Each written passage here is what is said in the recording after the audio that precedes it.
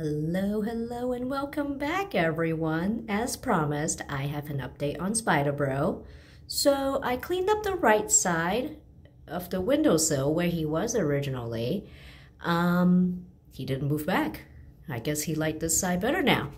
What I will do though is I am gonna open the window for him. Weather's pretty nice outside, it's warm. And I also want to give him a chance to accept the premise if he so choose, because I am worried that he's getting no food in here. So I'm gonna open the window and uh, give you guys another update on Spider Bro. See you next time.